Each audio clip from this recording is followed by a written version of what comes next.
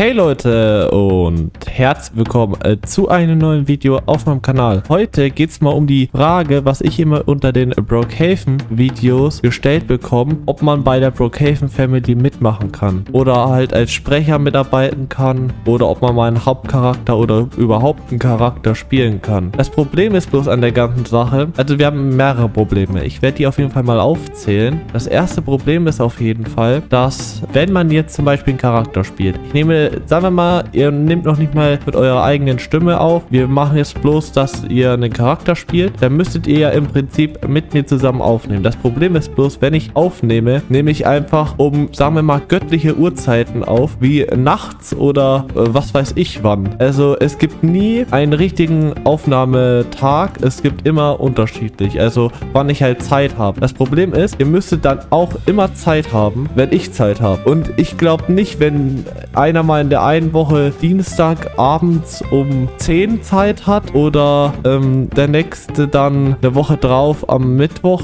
Wisst ihr, wie ich meine? Das Problem ist, wenn nur einer fehlt, können wir die ganze Staffel nicht aufnehmen oder die ganze Folge eher gesagt. Danach haben wir das nächste Problem. Dann haben viele gefragt, ob sie mit der Stimme aufnehmen können. Also, dass sie mal so eine Stimme sprechen können von irgendeinem Charakter. Da haben wir das nächste Problem, dass viele von meinen Zuschauern noch unter 13 Jahre sind. Und du darfst auf YouTube normalerweise nicht, außer mit der Erlaubnis der Eltern, eh kein YouTube machen. Deswegen wollen die auch nicht, dass du YouTube-Videos mit Minderjährigen oder so veröffentlichst, wegen Kinderschutz und sowas. Das äh, steht auch in den Richtlinien. Man bräuchte dann noch die Genehmigung der Eltern, dann könnte man das auf jeden Fall hochladen. Aber ich sage euch ganz ehrlich, ich habe jetzt irgendwie keine große Lust von jedem von euren Eltern eine schriftliche Genehmigung zu bekommen, dass ich eure Stimmen verwenden darf, weil das nämlich das Ganze auch äh, sehr viel mit Antragstellen zu tun hat, weil ich kann nicht einfach hergehen und kann selber ein Formular ausfüllen. Da müsste man dann noch separat eins irgendwie irgendwo herbekommen und ich weiß nicht genau, woher man das bekommt. Deswegen